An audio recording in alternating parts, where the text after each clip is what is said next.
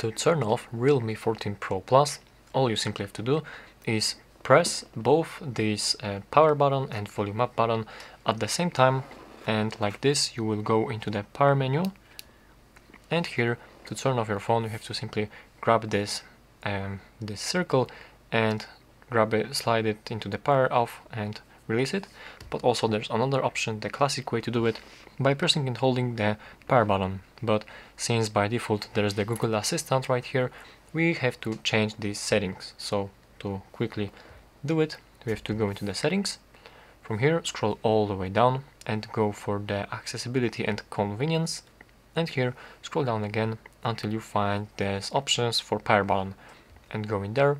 And here there's the press and hold the power button go in there and switch it to power menu.